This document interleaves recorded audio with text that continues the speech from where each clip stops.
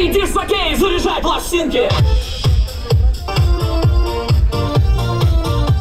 На площади перед МЦ «Фабрика» работает ярмарка. На ней предлагают купить национальные головные уборы, одежду и игрушки. Все это подготовили участники фестиваля «Альмет Digital Art». Здесь у нас представлены работы творческих детей.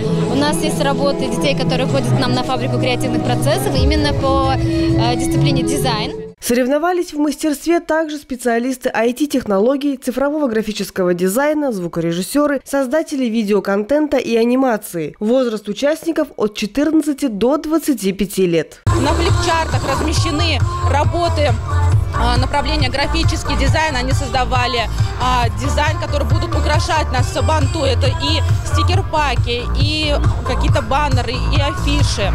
А, также есть номинация анимация, видео а, производства.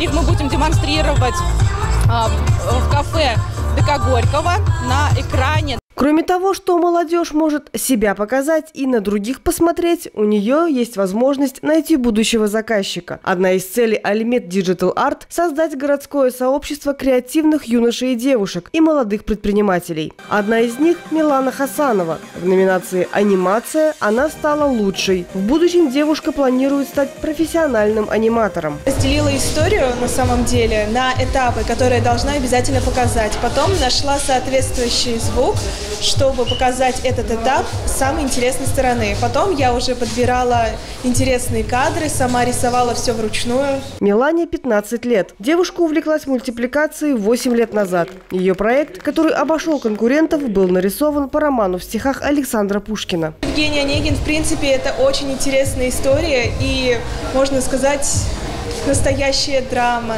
По, по Евгению Онегину можно снимать очень много интересных сериалов, мультфильмов, фильмов. И, в принципе, хорошая история для того, чтобы заинтересовать нынешнее поколение в изучении литературы.